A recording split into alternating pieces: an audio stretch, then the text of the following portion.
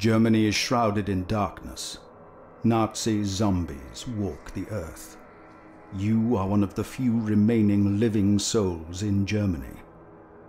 You have arrived at an abandoned village en route to Berlin, hoping to find a working vehicle.